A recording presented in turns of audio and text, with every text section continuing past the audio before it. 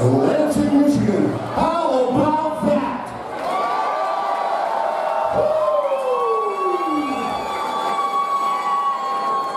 It down, total warrior combat style. Ladies and gentlemen, here we go on the next bout of the night. These are a couple of 185 pound asses. Going to be locked and loaded in this cage. Going to be beating and banging for you, ladies and gentlemen.